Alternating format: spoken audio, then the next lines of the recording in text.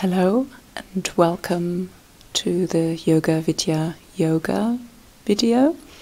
Monika from Yoga Vidya Aschaffenburg is showing you several variations of Kakasana, the crow.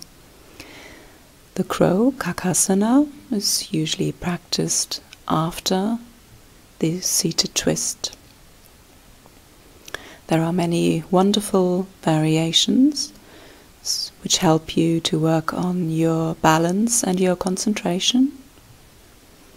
These variations, which Monika is showing you, are somewhat uh, advanced.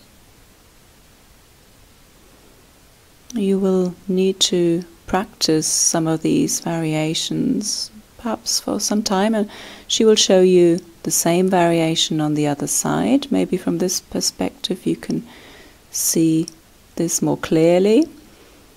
The thigh is placed on the upper arm, the elbow is clearly bent. Then you can bring the weight onto the upper arm, and actually, this pose isn't too difficult, it's more a question of finding your balance.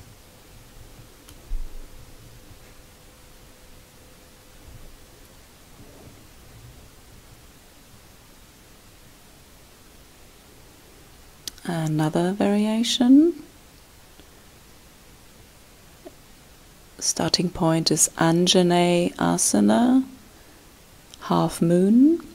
Again, you bring your weight onto the upper arms. The thigh, the hip is placed on the upper arm. One leg is bent, the other you can stretch out. Once more, Monika will show you the same variation on the other side. Hmm, as usual, we practice both sides in our yoga practice. And uh, once again, you can see it very clearly from this side. How you can place the knee, and then you bring the weight onto the arms elbows clearly bent, the upper arms are parallel to the floor.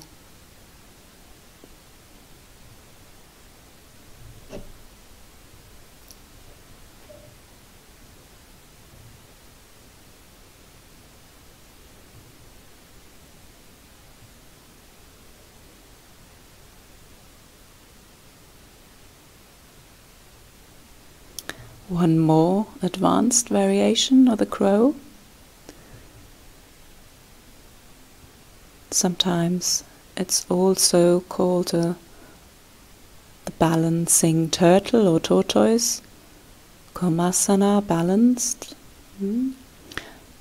So if you have a certain degree of flexibility, then it's actually a fairly easy pose to practice. So these were a few variations of Kakasana. Kakasana, some advanced variations so that you can work on your balance, your concentration, controlling your body. Mm, because in Hatha Yoga we say if you can control your body, you can also control your mind.